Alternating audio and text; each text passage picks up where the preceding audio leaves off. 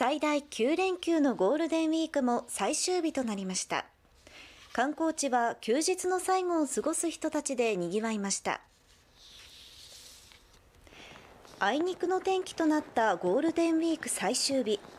今年はマスク着用などのルールが大幅に緩和されるなどコロナ禍前の日常を取り戻しつつある中で迎えた連休となりました。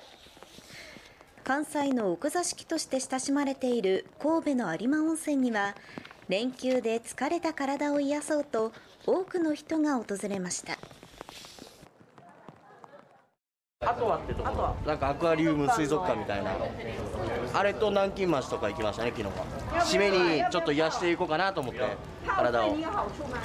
姫路から来ました。僕9連休でした。私はこの土日が休みでした癒されました。地元であのお祭りがあってそこに3日出てその後、えーと関西の方に来て今日またあの地元に帰るっていう感じですね。デリバーが一番楽しかっ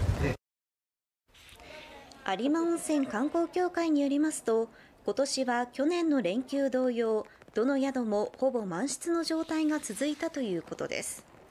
またインバウンドの観光客が増えたということでアメリカやヨーロッパから訪れた人が多く見られたということです。